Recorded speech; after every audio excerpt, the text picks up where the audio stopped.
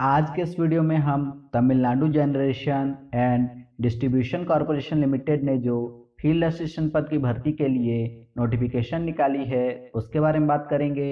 Hello दोस्तों thank you for watching this video स्वागत है आपका, आपके अपने चैनल अड्डा जॉब्स में। वैकेंसी की बात करें तो Tamil Nadu generation and distribution corporation limited में फ़ील्ड असिस्टेंट का 2900 पोस्ट है। एजुकेशनल क्वालिफिकेशन की बात करें तो आपने आईटीआई किया हो, रिलेवेंट डिसिप्लिन से। आपकी एज 1 जुलाई 2019 को 18 से 30 साल के बीच होनी चाहिए। फ़ीस की बात करें तो एस सी और पीएच कैंडिडेट के लिए फ़ीस पाँच सौ रुपये और बाकी कैंडिडेट के लिए फ़ीस एक हज़ार रुपये होगी। जो कि आप ऑनलाइन के साथ साथ ऑफलाइन भी पे कर सकते हैं। सैलरी की बात करें तो यह लेवल दो के अनुसार अठारह हज़ार आठ सौ रुपए से उनसठ हज़ार नौ सौ रुपए के बीच होगी। सिलेक्शन प्रोसेस की बात करें तो यहाँ पर रिटर्न एग्ज़ाम और फ़िज़िकल टेस्ट होगा। इंपॉर्टेंट डेट की बात करें तो फॉर्म फिलअप और फ़ीस पेमेंट होगा आपका 15 फरवरी 2021 से 16 मार्च 2021 के बीच। और ऑफलाइन फ़ीस पेमेंट करने का लास्ट डेट होगा आपका